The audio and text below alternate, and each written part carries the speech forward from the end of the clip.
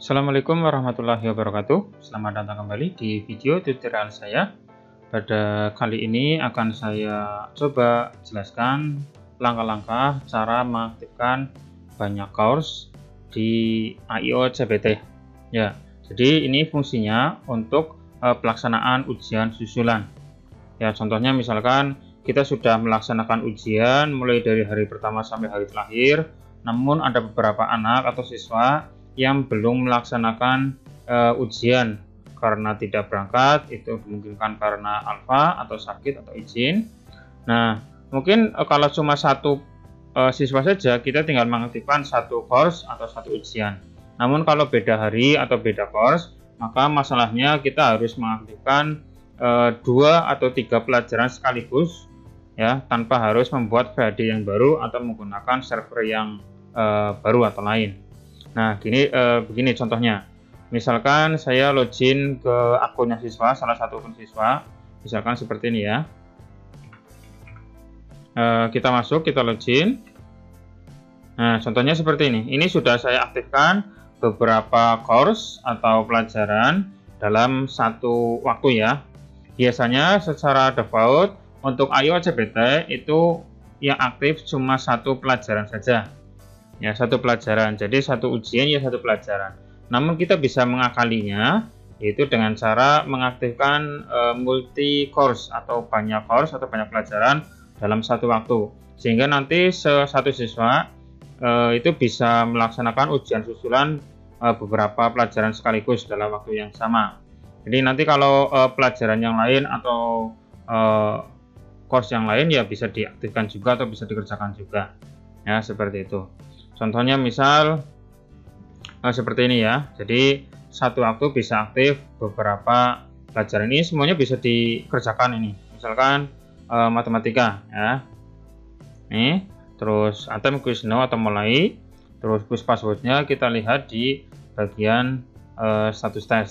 Nah, di sini. Nah, kita coba kerjakan. Start. Nah, ini ya. Ini bisa dikerjakan kita misalkan uh,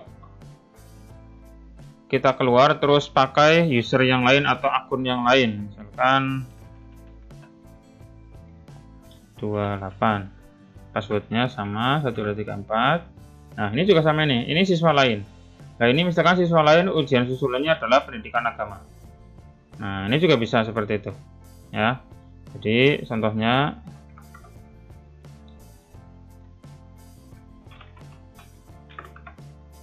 Nah, seperti ini ya.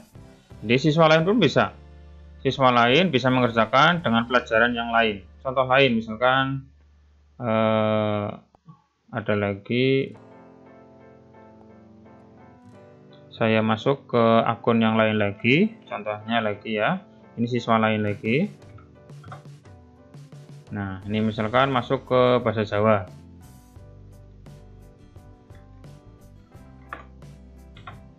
Nah, jadi seperti ini.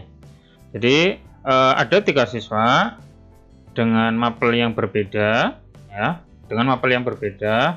Namun untuk eh, ujiannya itu bisa dilaksanakan dalam satu waktu satu server AIO CBT. Jadi seperti itu, ya. Jadi untuk settingannya atau cara menggunakan atau cara mengaktifkannya bisa disimak pada video kali ini. Sebelumnya silakan subscribe dulu channel saya untuk mendapatkan update terus video dari saya selanjutnya. Ya, silakan subscribe dulu uh, channel saya dengan cara klik tombol subscribe dan tombol lonceng. Oke, kalau sudah kita lanjutkan. Ya, seperti ini. Ini adalah IOJPT versi 2019. Ini tampilannya. Di sini sudah keterangannya sudah ada yang satu online dan tiga proses. Kita delete dulu ya mulai dari nol lagi. Oke ini sudah kosong semua. Online juga kosong in progress juga kosong. Berarti belum ada yang melaksanakan ujian. Saya mulai dari nol. Misalkan saya punya course atau ujian di sini ada PTS ya. PTS 1 PTS 2 PTS 1 berarti hari pertama. Untuk A berarti sesi A atau sesi pertama pelajaran sesi pertama jam pertama itu matematika kelas 10 dan kelas 11 yang B itu berarti pendidikan agama sama kelas 1 dan kelas 2 yang C juga sama bahasa Jawa kelas 1 dan kelas 2 ini masing-masing semuanya sudah ada soalnya ya. Matematika ya sudah ada soalnya yang agama juga ada soalnya yang bahasa Jawa ada soalnya. Untuk uh, secara default atau aslinya di IJBT itu hanya bisa mengaktifkan satu ujian saja. Misalkan uh, PTS 1A atau hari pertama yaitu tadi matematika. Kita coba ini sudah mengaktifkan PTS 1A maka jika kita login ya jika kita login maka yang aktif atau yang muncul cuma satu. Nah di sini. Cuma matematika saja. Jika kita aktifkan e, mapel atau sesi yang lain jika kita klik simpan maka e, jika kita refresh di halaman siswa maka mapelnya ganti. Tapi cuma satu saja sehingga nggak bisa mengerjakan e, course atau pelajaran yang lain. Ya seperti ini. Secara default atau aslinya seperti ini. Ya jadi cuma satu. Jadi yang bisa aktif itu cuma satu.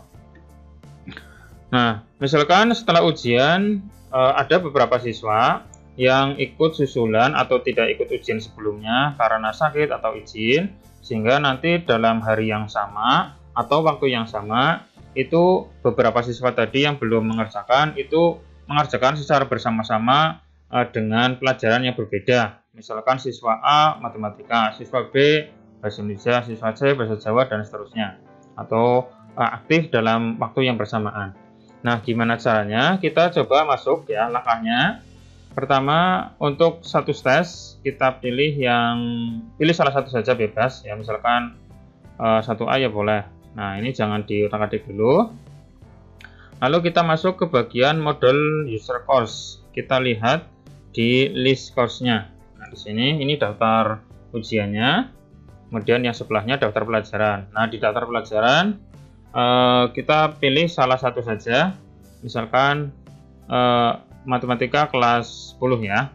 Kita coba klik eh, tombol setting yang ini, atau bisa juga kita masuk ke bagian eh, model, yaitu yang 192 168 0200 seperti ini. Ini masuk ke model, ya. Ini halaman modelnya. Jika misalkan diminta password, ada usernya atau uh, username-nya ya. Untuk username itu admin, terus passwordnya adalah huruf P besar, angka 4, SS, W, angka 0, RD ya. Login.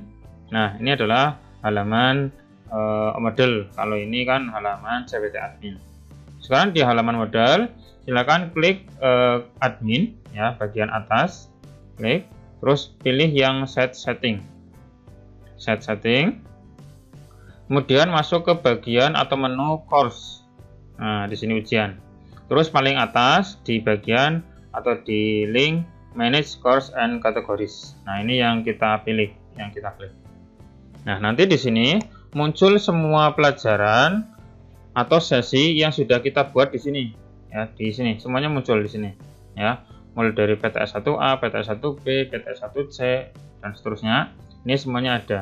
Misalkan PTS 1A ada matematika kelas 10 dan kelas 11 ini juga sama ini. Terus PTS 1B munculnya pendidikan agama. Kita klik juga sama agama ya. Nah di sini yang sedang aktif adalah tadi di status tes PTS 1A maka di sini yang aktif atau cuma yang yang muncul ya yang muncul yang aktif atau yang uh, tidak tersembunyi itu cuma PTS 1A saja lah ini matematika di sini eh, tandanya adalah gambar mata, nah gambar mata tapi tidak dicoret atau terlihat artinya. Namun di PTS 1B, PTS 1C dan seterusnya, ini gambar matanya disilang atau dicoret. Kalau dicoret seperti ini berarti eh, otomatis akan tersembunyi sehingga muncul di bagian siswa pun cuma satu course atau satu pelajaran. Ya. Jadi kalau saya aktifkan lagi misalkan PTS 1B maka otomatis nanti PTS 1B yang gambar matanya tidak disoret. Kita simpan, kita masuk ke model, kita refresh. Nah, di sini ya gantian. Di PTS 1A tadi sudah e, tersembunyi, sekarang gantian PTS 1B yang e, terlihat di sini. Jika kita klik, maka pendidikan agamanya otomatis tidak disoret. Kalau yang tadi matematikanya sekarang dicoret. Nah, seperti itu. Jika kita refresh pun nanti ganti menjadi pendidikan agama. Nah ini ya, jadi kalau misalkan cuma satu saja secara asli itu cuma satu, uh, tidak bisa double. Nah, gimana supaya double? Ya, sekarang saya aktifkan yang mulai dari uh, pelajaran pertama saja dulu nggak apa-apa, nggak masalah. Mau yang pelajaran yang lain juga nggak apa-apa. Sekarang, eh gini, misalkan uh, saya ingin mengaktifkan uh, pelajaran di sesi kedua dan sesi ketiga dan uh, pelajaran di sesi pertama hari kedua. Nah, jadi misalkan ini yang lagi aktif adalah pelajaran matematika. Saya ingin mengaktifkan pelajaran pendidikan agama, saya juga ingin mengaktifkan bahasa Jawa, saya juga ingin mengaktifkan bahasa Indonesia. Ataupun pelajaran yang lain, semuanya pun bisa bisa diaktifkan dalam uh, waktu yang bersamaan, itu bisa. Caranya, silakan pilih uh, kategorinya, kategori yang mana. Kalau yang pertama di sini sudah otomatis muncul. Sekarang yang B atau yang sesi kedua. Nah, di sini di bagian namanya di bagian pelajaran ya new course atau course ya di sini itu di bagian gambar matanya atau ikon matanya kita klik supaya nanti coretannya hilang. Atau diklik tombol show ya. Jadi eh, pelajaran kelas 10 maupun kelas 11 silakan dipilih saja. Salah satu atau dua-duanya juga bisa. Nah jika kita pilih uh, tampilkan ya show maka otomatis gambar matanya uh, coretannya hilang. Ini cuma untuk yang X saja kelas 10 jika kita refresh maka di sini muncul pendidikan agamanya ya jadi matematika yang muncul pendidikan agama muncul seperti ini kalau yang kelas 11 ini jika kita klik show atau coretannya dihilangkan, di sini nggak bakalan muncul. Karena apa? Karena ini adalah siswa kelas 10, kelas 11 nggak mungkin muncul ya. Jadi cuma untuk kelas 10 saja. Namun kalau kita mengaktifkan atau login menggunakan siswa kelas 11 ya otomatis pendidikan agama kelas 11 juga muncul ya sesuai dengan tingkatannya. Ini cuma matematika dan PAI kelas 10 saja. Untuk kelas 11 dihilangkan saja nggak apa-apa. Terus eh, di sesi ketiga itu bahasa Jawa. Di sini eh, keterangannya untuk ikonnya itu masih dicoret. Di sini juga jika kita refresh bahasa Jawanya belum muncul, ya belum muncul. Namun jika kita klik tombol matanya atau klik tombol show ya, maka otomatis eh, bahasa Jawa mata pelajaran bahasa Jawa atau ujiannya itu akan muncul. Kita klik. Nah di sini di usernya siswa kita refresh. Nah seperti ini ya. Jadi sudah ada tiga pelajaran. Namun untuk bahasa Jawa kelas 11 jika kita show di sini nggak bakalan muncul karena ini adalah siswa kelas 10 bukan kelas 11 ya. PTS terus selanjutnya PTS 2 atau hari kedua sisi pertama. Misalkan saya aktifkan dulu yang kelas 11 nggak masalah, tapi nanti di usernya siswa itu nggak bakalan muncul karena ini masih di akun siswa kelas 10 ya. Nah, kalau eh, kelas 10-nya kita aktifkan dengan cara klik tombol matanya sehingga coretannya hilang, maka muncul otomatis bahasa Indonesia kelas 10. Nah, di sini ya. Kayak seperti itu, ya. Tapi kalau misalkan sudah mengaktifkan ini, itu jangan sekali-kali ini mengganti daftar ujiannya. Kalau misalkan daftar ujiannya diganti, maka otomatis semua yang tadi kita setting atau kita show itu akan hilang lagi atau menjadi hide lagi tersembunyi lagi. Sehingga yang di sini muncul cuma satu pelajaran saja. Seperti itu ya. Ini semuanya bisa dimunculkan ini. Baik PKN eh, misalkan seni budaya. Terus ada lagi misalkan bahasa Inggris jika kita refresh maka semuanya akan muncul di sini. Nah ini kan banyak banget. Nah seperti itu ya. Jadi kita bisa mengaktifkan satu pelajaran dalam satu waktu dan nanti e, beda siswa beda pelajaran nggak masalah bisa seperti itu. Nah nanti di uh, statusnya, memang statusnya adalah cuma satu ujian saja yang sedang berjalan. Namun jika kita login, misalkan uh, Ahmad Nur Hilal mengerjakan matematika, quiz now, atm atau mulai. Untuk passwordnya ini sama, jadi pelajaran A, pelajaran B, pelajaran C itu passwordnya sama dalam satu waktu ya. Nah ini tadi Ahmad Nur Hilal sudah sedang mengerjakan matematika ya, sedang ujian susulan matematika. Nah, ini biarkan dulu. Kita logout, kita masuk ke user uh, siswa yang lain, contohnya. Nah, ini Ahmad Haris, misalkan mengerjakan pendidikan agama. mulai terus quiz passwordnya sama. Nah, misalkan ini eh, sedang mengerjakan pendidikan agama ya. Kemudian kita masuk lagi ke akun siswa yang lain lagi. Misalkan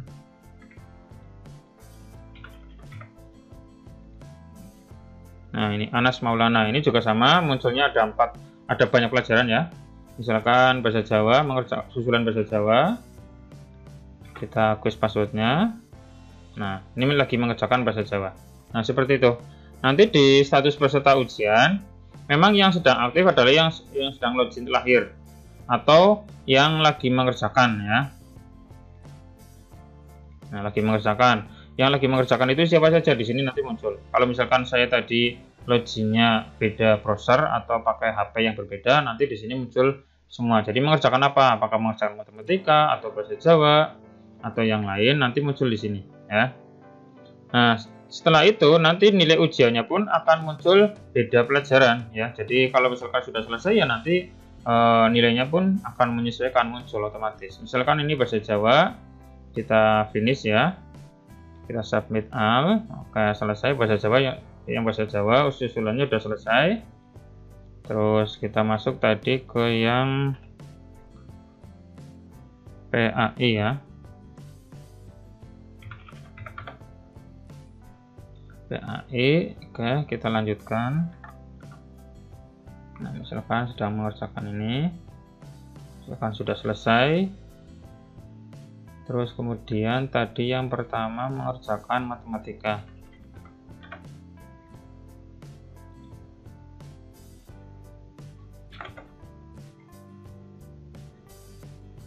Misalkan langsung sudah selesai ya. Oke. Log Oke, sudah semua. Siswa yang susulan sudah uh, ujian semua, sudah mengerjakan semua. Sekarang kita cek di status tes sudah selesai status peserta ujian sudah selesai, tapi ini untuk pelajaran matematika saja, karena yang aktif di Jabat Admin cuma satu pelajaran. Ya, namun di nilai ujian, nilai ujian nanti e, muncul semua nilainya. Tapi kita mengaktifkannya urutan, misalkan e, tadi ini adalah PTS 1A yaitu untuk ujian matematika, maka di nilai ujian itu cuma matematika saja. Nah, ini sudah ada nilainya.